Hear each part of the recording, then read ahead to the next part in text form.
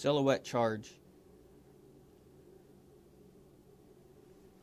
Secure backing material so that it's large enough to allow assault or breach team entry.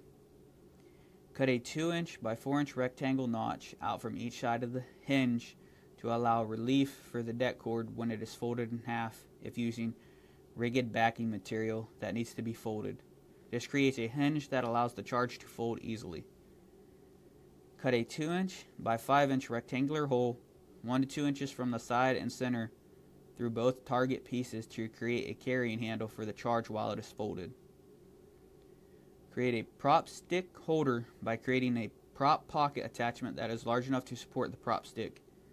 Ensure that the opening of the prop pocket faces the bottom of the charge. Note, secure the det cord to the backing material so that the charge maintains its proper configuration and ensures det cord to det cord contact. Tape over the det cord with tape. Fold the first 12 foot piece of det cord in half to find the center. Start from the top center of the charge and place the det cord along the outside edge. Work your way to the bottom center.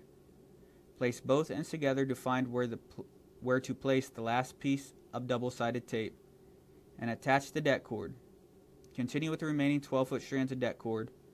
Start from the top center and wrap each cord inside of the last to ensure det cord to det cord contact. Note, the ends of the det cord will overlap after the first wrap. Tightly alternate the wraps to form a kicker charge at the bottom to assist in clearing studs from the bottom plate. The obstacle construction material type determines the number of wraps. Five wraps of det cord are required for interior walls, studs, and sheetrock. Six wraps of det cord are required for roof shingles and plywood, and eight wraps of det cord are required for block walls. When the determined number of 12 foot wraps has been completed, add the final 13 foot wrap to the inside of the 12 foot wraps, forming a 6 inch priming loop at the bottom center of the target. Tape priming loop ends together. Place the det cord on the target side of the charge and route the priming loop through the hole that was previously made in the backing material. Prevent damage to the charge by securing all exposed det cord to the backing material with tape.